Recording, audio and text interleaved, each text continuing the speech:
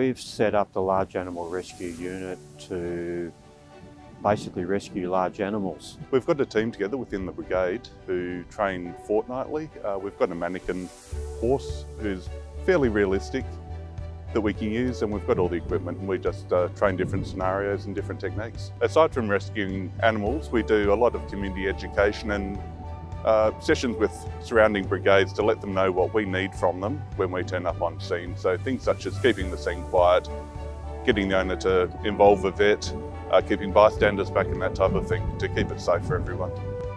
Arthur's Creek Large Animal Rescue helped my horse Tats. My mum called me and said he'd fallen into a creek. So we called the Large Animal Rescue. They did a check over the horse, make sure that he was fine and they assessed the whole situation, um, where he was located and how was the best way to track him out.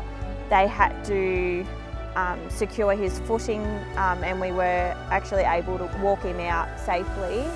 There was no way we were getting my horse out without them.